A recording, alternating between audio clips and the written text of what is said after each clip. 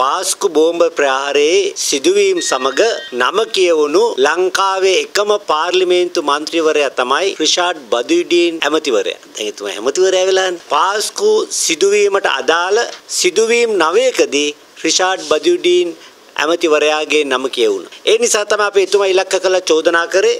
නමුත් අපි මොනතරම් චෝදනා ඉදිරිපත් කරත් පොලිසිය කිසිම ප්‍රකාශයක්වත් ලබා නොගෙන මේ කියන කාරණා ගැන කිසිම සොයා බැලීමක් නොකර රිෂාඩ් බදුඩීන් අමාත්‍යවරයා නිදොස් කොට නිදහස් කිරීමට කටයුතු කරා. පොලිසියට අයිති වැඩකුත් නෙවෙයි කෙනෙක් නිදහස් නැද්ද කියලා. පොලිසිය කරන්න ඕනේ විමර්ශනයේ තොරතුරු උසාවියට වාර්තා කිරීමයි. උසාවියේ තීරණය කරන්න ඕනේ නිදොස්ත නැද්ද කියලා. රිෂාඩ් බදුඩීන් ඇමතිවරයාගේ කුණු සේදීම සඳහා බිහි කළ කුණු ලොන්ඩරිය ලෙස රටම දන්න තේරීම් කාරක සභාව සිය වාර්තාව ලබා දීමටත් ප්‍රථම ඔන්න දැන් රිෂාඩ් බදුඩි නැමතිතුමාට අමාත්‍ය ධූරයකුත් ලබා දීලායි තියෙන්නේ. මේ රටේ රිෂාඩ්ට එක නීතියකුයි අනිත් අයට තව නීතියකුයි ක්‍රියාත්මක වෙන්න බෑ.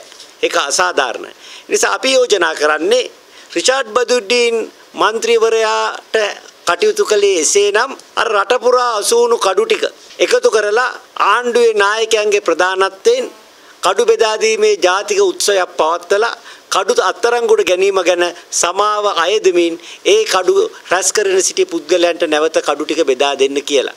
ඒ වගේම ත්‍රස්තවාදී සැකකරුවන් විදියට ජාතික තවහිද් ජමාත් සංවිධානය ඇතුළු ඒ සංවිධාන වලින් අත්තරංගුට අරන් ඉන්න ත්‍රස්තවාදී සැකකරුවන් සීලු දෙනාම පවුලේ අය කැඳවලා යලි ඒ අයට බාර දෙන්න වන්දි මුදලකුත් සමගින් වන්දි ගෙවීම සඳහා දැන් හානි පූර්ණ කාර්යාලය කියලා එක්ක පිටවල තියෙනවනේ ඒකේ යටතේ ත්‍රස්තවාදීන්ට වන්දි ගෙවීමත් නීත්‍යානුකූල වී තිබෙන එකේ වන්දිත් සමගම ඒ සියලුම ත්‍රස්තවාදී සැකකරුවන් පවුලේ අයට තවත් උත්සවයක් තියලා බාර දෙන්න කියලා අපි යෝජනා කරනවා. ඒකත් මදි කියලා හිතනවා නම් පාස්කු ඉරිදා පල්ලි ගිය සීලුම දෙනා වැරදි තැන වැරදි වෙලාවේ සිටියා කියන චෝදනාවට අත්අඩංගුවට ගන්නත් පොලිසියට පුළුවන්.